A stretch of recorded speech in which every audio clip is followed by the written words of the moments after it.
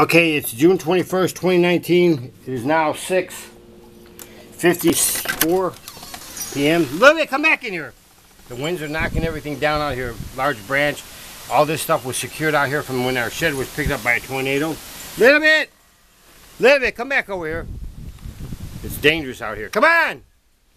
Look at that big branch. Look, Petey! Petey! Petey! Come on! Come in the house. He's deaf. Go in the house. See the piece of a Come on. Go in the house. Go in the house. Go on. Yeah, it's going to get dangerous out here. So I just want to get this on, on the video here so you can see it. Uh, I'll try about a half hour, an hour from now, see what's going on out here.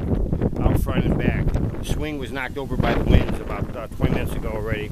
That was inside cinder blocks to, to anchor it, so. Oh gosh. I was gonna make myself a grilled cheese before power went out and all this. I still might do that, but yeah. That's how bad it is out here, folks. Yeah, I live out in the country. Mm -hmm. There you go.